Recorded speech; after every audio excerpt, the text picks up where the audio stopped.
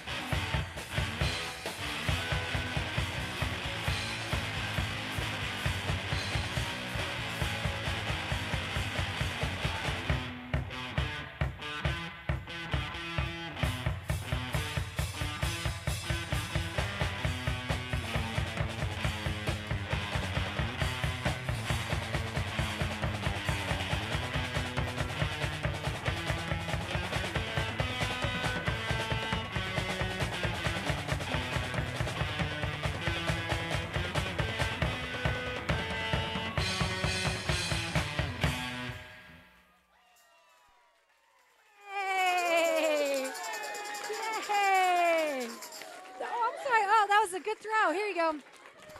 Welcome to Chic-A-Go-Go White Mystery. Let me get in between you guys. Hi, what's your name? Francis. And what's your last name? White? Hmm, and what's your name, dear? Alex And what's your last name? White. Ha! White Mystery, Francis and Alex. It's good to see you again. Thanks for coming. Alex has been a good, dear friend of the show for a long, long time. And she's been playing rock music since she was a wee wee, maybe even your age, right? I was about 13. That's great. And how about you? When did you start playing uh, tambourine? When I was around 13. See that? You're never too old or young to start playing music, right? Great. So tell some of the girls at home like how it is being in a rock band, being a tough chick, and being so cool. It's totally awesome and I recommend it. Yeah, me too. Awesome. Yeah, that's great. So I just have to say, because your last name's White and you're both related, but your hair's so red. It's true. Well, I'm kind of orange, actually. Mm, let's see. You guys can call in at 1 800 Chicago and see who's more orange and who's not. No, it's great to see you guys. And I know you guys both love music, and I'm sure you're a big Van Halen fan, right? Uh, Van Halen time. Yes. Van Halen. A little Panama? Panama! Just like that. White Mystery.